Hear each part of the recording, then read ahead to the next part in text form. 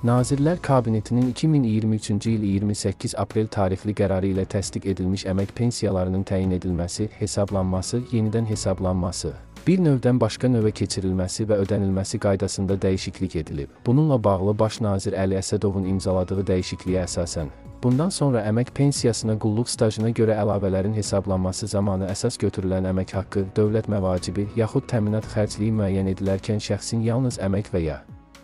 xidməti vəzifələrinin yerinə yetirməsinə görə almış olduğu ödənişlər və onlara sonrakı artımlar pensiya təyinatı tarixinə qədər nəzərə alınacaq. Bundan başqa, əmək pensiyasının sığorta hissəsi qulluq stajına görə əmək pensiyasına əlavələr təyin edilmiş əmək pensiyaçılarına münasibətdə həmin əlavələrlə birlikdə müəyyən edilmiş məbləğdə artırıldıqda pensiya yenidən hesablanacaq.